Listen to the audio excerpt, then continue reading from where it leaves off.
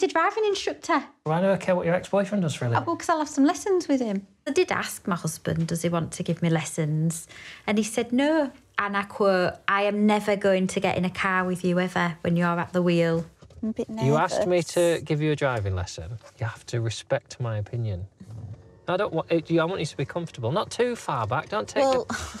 You are taking the piss out You of me me. You are like not that? going to pass Hey. your driving test like this. You're in neutral. so I now take it's my a foot off the brake Yeah, completely. yeah. Right, nice and slowly. Nice and slowly. Minding the rock. Are you looking for the rock? You're not looking for the I rock. am, Look for the rock. I've seen the rock. I've seen the rock. There wasn't Stop. a rock. Where? I said clearly, and we'll review the footage. Look out for the rock there. That's on your side. I was singing. Oh my God. Tell it to the judge. Oh, it's all right, Jon. There's nothing there. Just get back in the car.